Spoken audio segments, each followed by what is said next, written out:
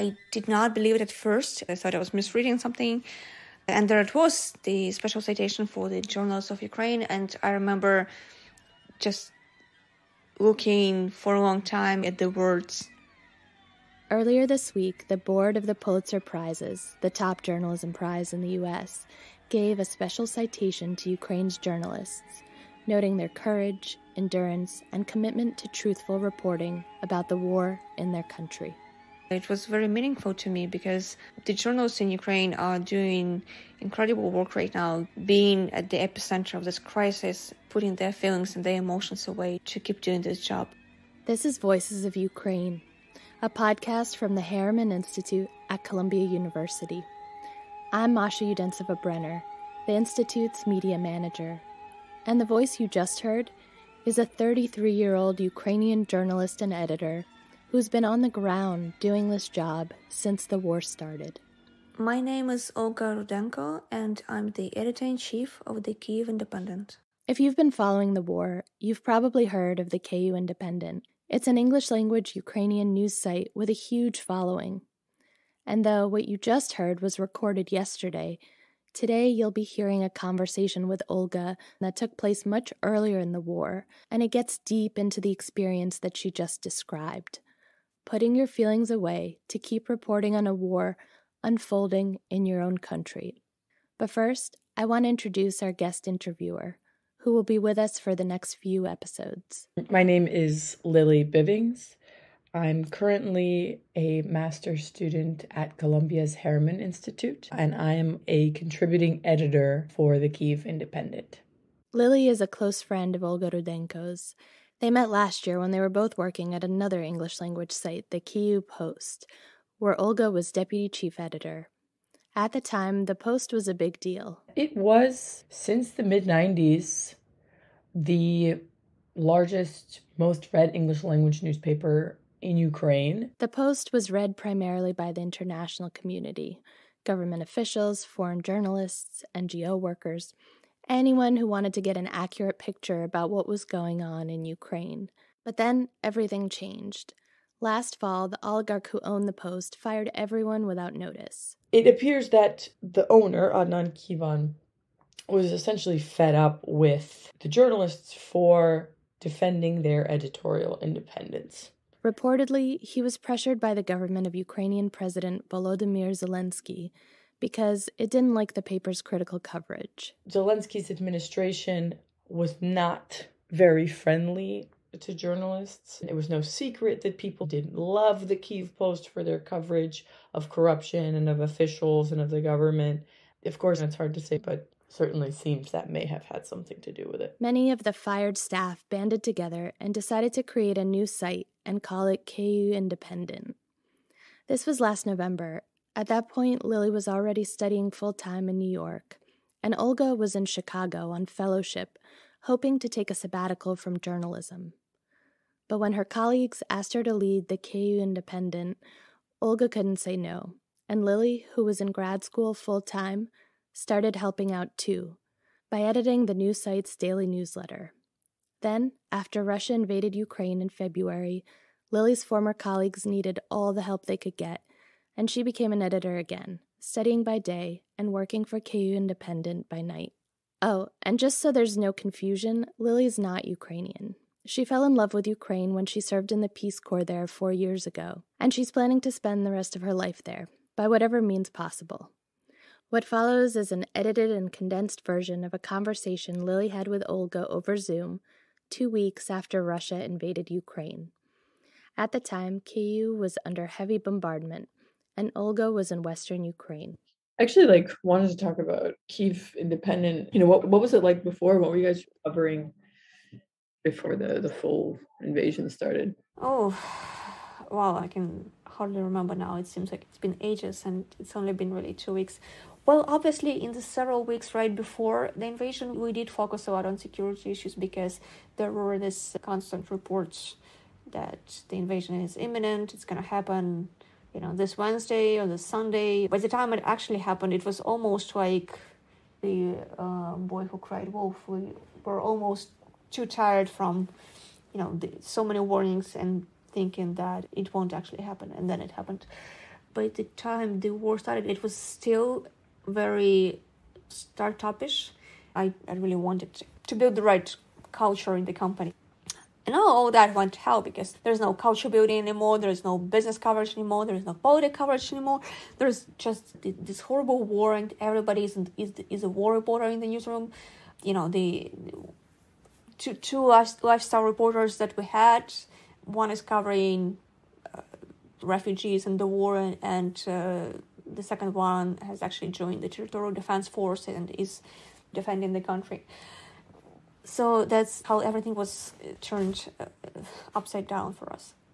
I wanted to talk a little bit about the sort of meteoric rise of Kyiv Independent's since the start of Russia's full scale invasion. It's so exciting, obviously, to jump from 20,000 followers to almost 2 million, to get recognized by every major outlet, to get all of the compliments from everyone all over the world. But the reason why that's happening is obviously tragic and i think we all wish wasn't the reason why we're getting this kind of success. Yes you know just a month ago this this, this kind of numbers seemed so far away for us.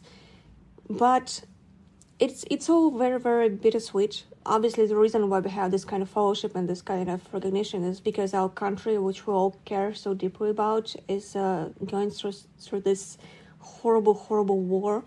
And i would happily trade all the success that we had for there being no war. And i'd be happy to live in a boring boring ukraine. And i'd be happy if my only struggle was how to stay afloat as a media startup and how to find money. I said to someone the other day i was like it's crazy that at one point the most stressful thing was thursday nights kiev post and i'd love to just go back to those days where we came into work late on Fridays. We drank wine in the office late at night after we were done. Yeah, in in retrospective, it's also so easy, so simple, so oh peaceful. One of the things I would always tell people about why I loved Ukraine so much is it's just it's so laid back there. And I don't mean laid back in this dismissive way of not being hardworking or responsible, but in a sort of deeper, more philosophical way and like an attitude towards life, it's hard to kind of even grasp the reality of what's happening and, and, to tie it into the news that we're reporting. People ask me all the time, How are you feeling? How are you doing? And I'm like, I don't really have time to think about it. I mean, I'm also not there, right? You just said, you know, I'm not even there. I think it might be even harder for people who are not here to cope with this because that just adds some additional level of absurdity. Look at the look at the news. You're into it for hours and hours, and then you go uh, out to the street, and it's it's also normal. And I think that the, this contrast can really take a toll on you, you know, mentally. That's what happened to me one day after the war started. I left Kiev and I went to a safer location in western Ukraine for the first, first couple of days, I, I thought I was going insane. I thought I was going mad. For just, just the, the crazy contrast of how peaceful the streets were, how there was like almost no sign of that this is the same country that is at war right now. How that contrasted with what I was doing all day, all, looking at the news, editing the news, writing the news, the shelling, the tragedies, people in bomb shelters, and then you know i woke up from my computer and it's also normal around me. Literally what was going on around you? Like what were people doing? It's it's it's a very small town. I, I mean i haven't had a chance to walk around that much. I think a couple of streets is like almost the whole town. A lot of places are closed. Some cafes and shops but most of them are open actually and most of them are working and i spend a lot of time working in a, um, in a restaurant at a ho- hotel nearby. It has a, a big restaurant with a good internet connection uh, the best one that i could find here so far. So so i spend like most of my days there working. Um, and it's um, that's a spa hotel and it's full now of people who fled i think mostly kiev there's a there's a pool and uh, uh, like an indoor pool for you know families with children swim there. No alcohol, of course, because it's banned now. But it's you know, it's also normal. It's almost like a resort. It's almost like a vacation.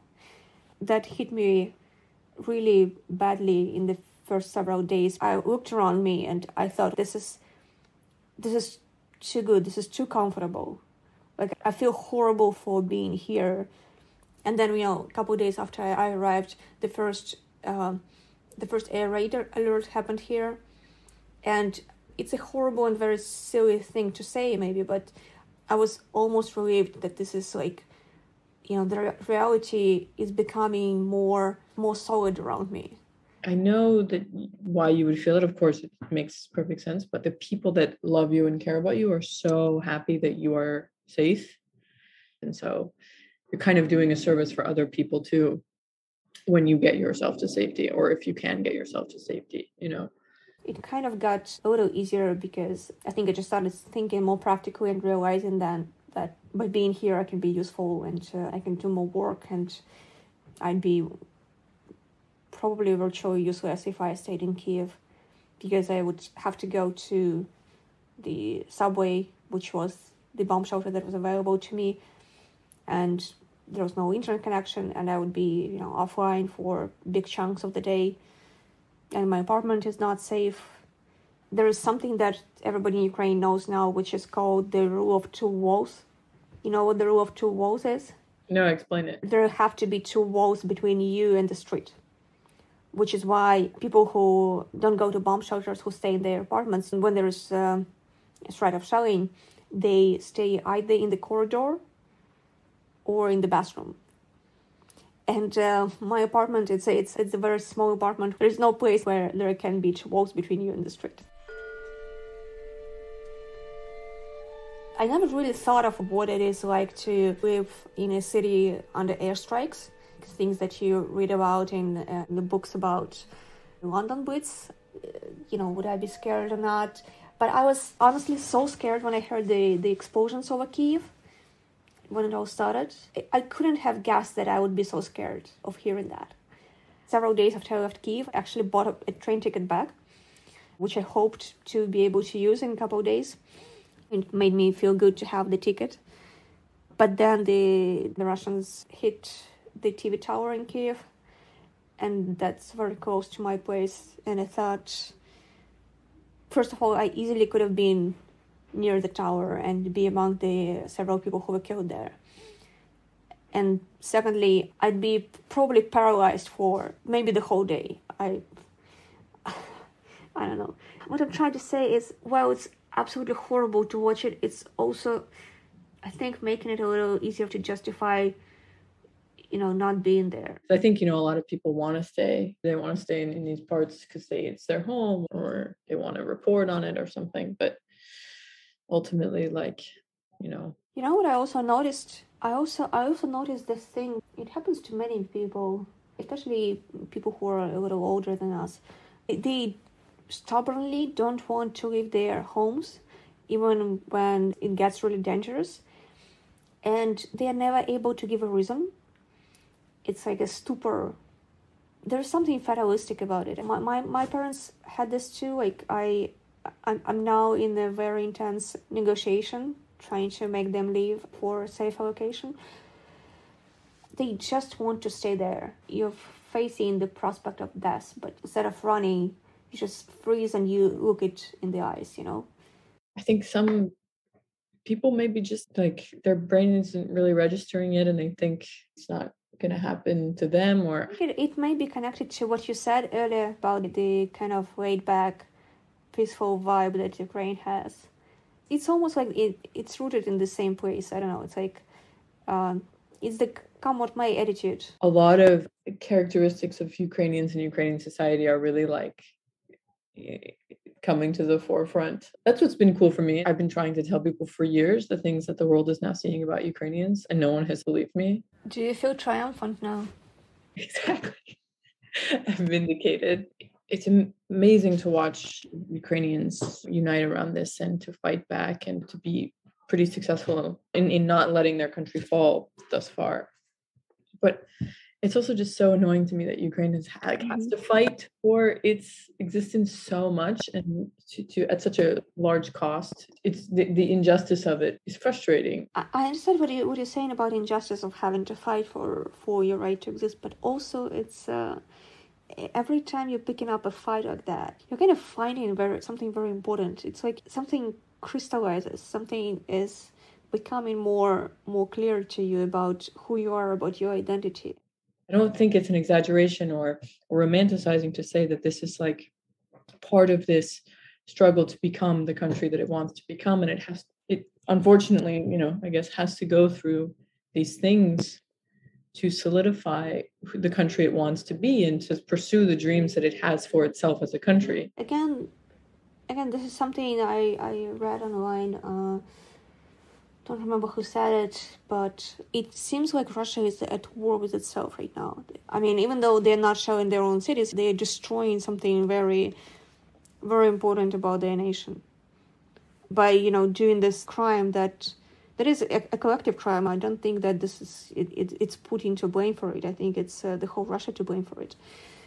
I mean whatever happens whatever happens next in terms of you know the, the battles and uh, which cities are taken which cities are liberated we are winning it. It's like an ultimate test that the, the nation is taking and we are nailing the test. I don't know if i'm my mind is just telling me to tell myself that this will be over soon and this summer we'll all be back in Kiev going to like our favorite bars and cafes and going to the beach and hanging out and these you know long summer nights like just to make myself feel better. And I've thought about it a lot and I'm like no but I really believe that. I'm trying not to think that this is probably what people who left uh, Donetsk and Luhansk told themselves in 2014 but I'm always a uh, a naive romantic optimist. Maybe it won't be the same, you know, the same city. Of course, it won't be the same city. It will forever be transformed, but it doesn't mean that it will it will be worse. It will still be our Kiev, and we will all go back. We will walk and laugh and uh, just be happy. I, I don't see it happening. I don't see Kiev being gone.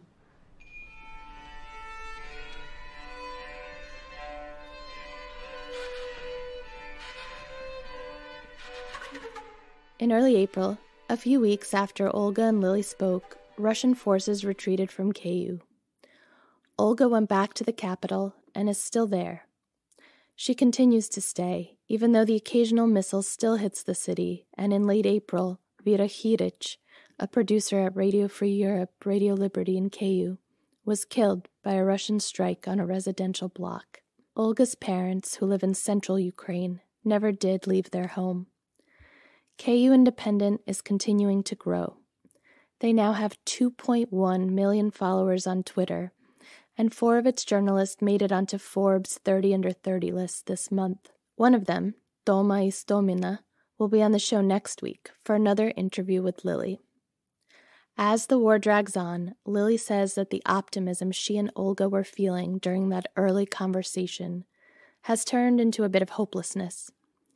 We know that Ukraine will win, she says, but it's hard to say when, and not knowing is hard. Lili and all the staff at Kyiv Independent are exhausted. But at least the Pulitzer citation has been a bit of a morale booster. I'd be remiss not to mention that Ukrainian journalists do have some issues with the wording, because the citation refers to Russia's war as Vladimir Putin's war. Here's Olga again. We in Ukraine know that it is not Vladimir Putin's war, it is Russia's war. There are tens of thousands of people who are participating, and it is shown by independent polling that Russians overwhelmingly support the war. So calling it Putin's war is just is just plain wrong. I think it's diminishing the scale of this tragedy. So that was unfortunate that the Pulitzer Prize people chose that language to describe what is going on.